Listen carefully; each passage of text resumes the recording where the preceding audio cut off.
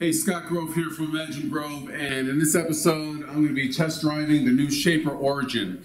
If you haven't, if you haven't heard about this machine, this changed the industry. It is definitely a game changer. It's basically a handheld CNC. Uh, so briefly, right here, you've got this router and uh, a screen, and this router sort of moves independently from the base.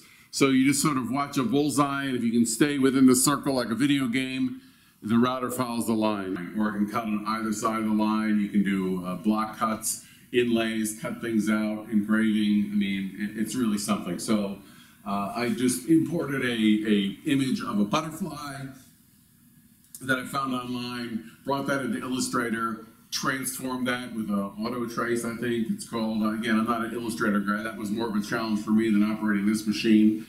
Um, and uh, it is only a quarter inch spindle. So uh, if you're trying to bore through a three quarter inch panel, you'll have to step cut, but it even has a feature where it'll step cut down and be a couple thousandths off the line. Then it'll go back and make a full cut couple thousands in and clean any of that chatter that you've created. So they've, they've thought it through. So I had a chance to review it and give it a test drive at AWSF where I was demonstrating uh, out in Vegas this last uh, summer in 2017. And boy, it was great. So I've got one of the first models here.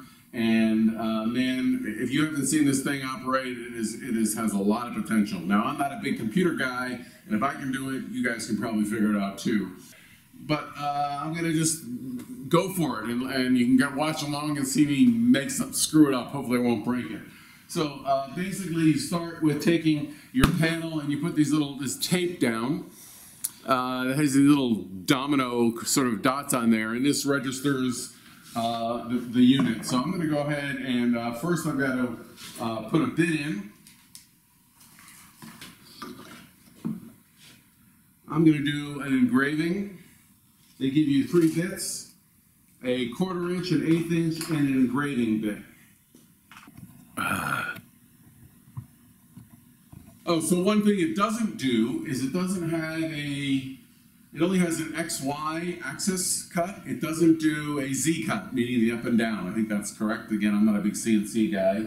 Um, so I was hoping to use it for uh, maybe making signs and doing that sort of calligraphy look where the, the line width will, you know, feather out. If it's a V groove, it can kind of come up to a point. It won't do that. So that was a little disappointing. Uh, hopefully they'll work that out in future models. Uh, but besides that, uh, it's uh, doing everything else I can think of. Uh, Festool uh, is providing the spindle for Shaper Origin, so you know it's a good motor. That was pretty easy. Didn't break anything yet. Okay, so the first challenge is over. I got, I got the rod bit in. Uh, that worked out pretty well. Now we're going to plug this baby in. Um, one thing that I already, a little criticism here is there's no on-off switch. Turn on and off the, the spindle, but you can't turn on and off the machine without unplugging it. So that seems a little weird, but maybe they'll have that figured out, or maybe I just don't see it. I don't know. But, uh, I'm sure they're going to be working on a lot of uh, improvements in this. Um, another thing that seems to, to be a while now, this is clearly a very sophisticated machine and probably takes a lot of memory up, but it's not as snappy as my computer that I'm used to, so um, it has to think a little bit. So you got to stand around and watch this thing kind of load up. So it is loaded up, and there's a, uh, uh, a camera here that's scanning these this tape. So you lay a bunch of tape out here and it's scanning. So me bring the camera around. So there's, uh, there's the screen and we want to scan. So new scan, and this is a touch screen here. And it, I can either touch the screen here or it's also showing the green button. So I'm going to hit a new scan. So now it's taking a, a picture and as I move this thing around, it's mapping the entire surface. And if you're noticing these lines, these black dominoes now turn blue, which means that it's seen it and it's registered. So this is the entire surface area now that it, it is sort of memorized. And I'm going to finish the scan. I can either touch here or I can touch this button there.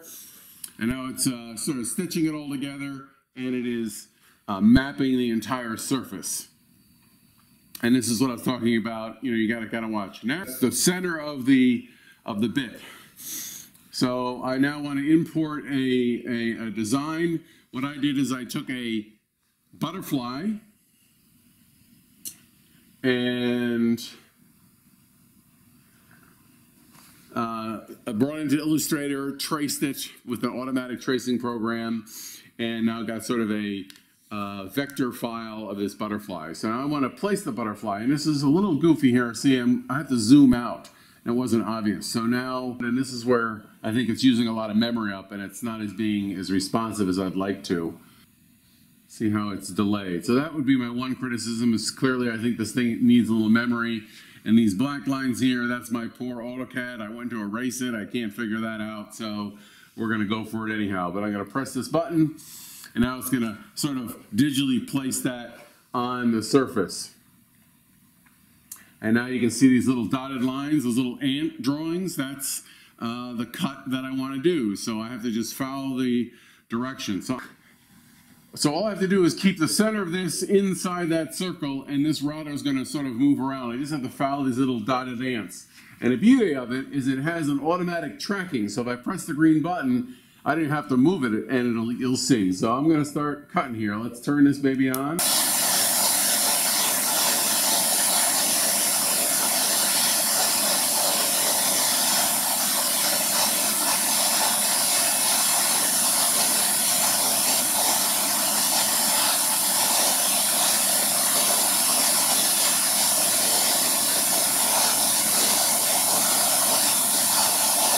This button, this will move. I won't have to move anything.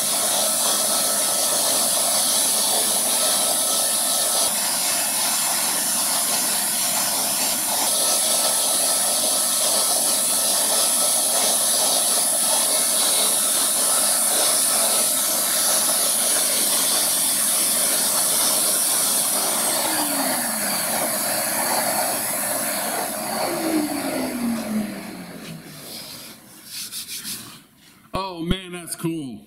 You gotta love this Festool type case also. Love these things. Uh, all in all, I think this machine is, uh, is, is well worth the money.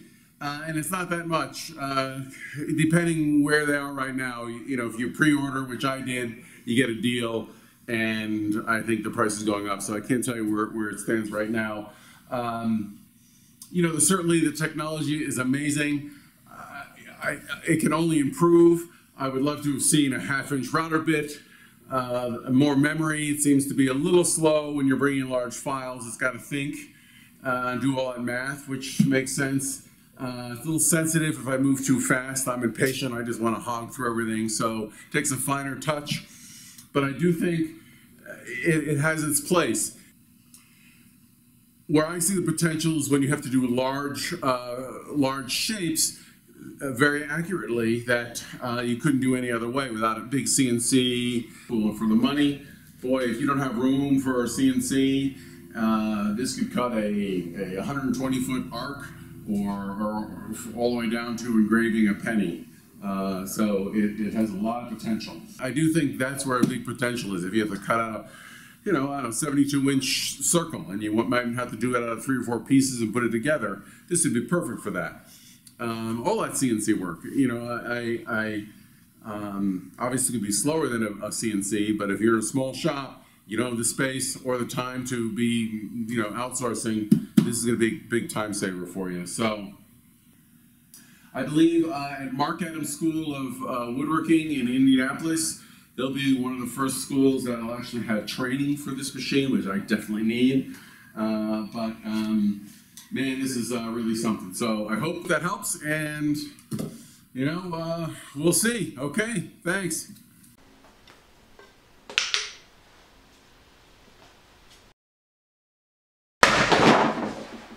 Hey, hope you enjoyed that.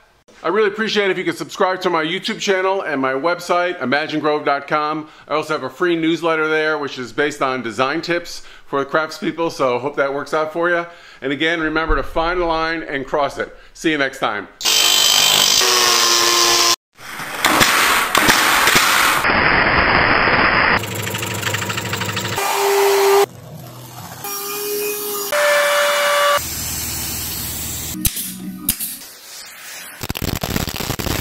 Safety first.